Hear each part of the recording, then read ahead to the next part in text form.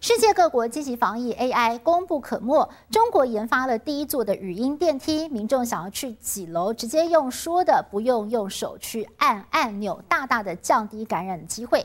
还有送餐机器人哦，会自己搭电梯，将餐点从餐厅送到消费者的手上，避免人际交流。小一，小一，下楼。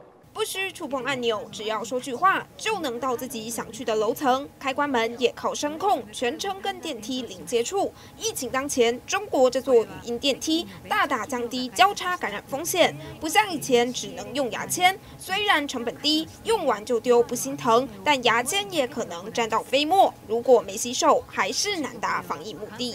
これは食事の配達ロボットです。自らエレベーターに乗り込んで部屋まで食事を届けてくれるということです。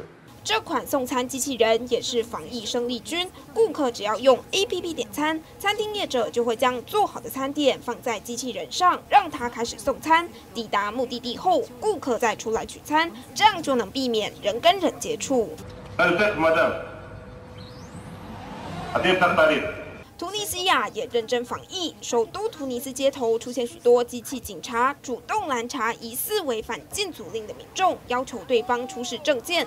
被拦查的人必须将证件对准机器警察的摄影机，经过人工远端确认后才能放行。And the Seoul Metropolitan Government has installed an artificial intelligence。南韩则是引进 AI 监控呼叫系统，追踪居家隔离的民众。这套系统会主动拨电话给监控对象，确认他们是不是有发烧、咳嗽等症状，还会配合不同族群改变问题，节省不少人力。拜高科技所赐，全球防疫变得更有效率。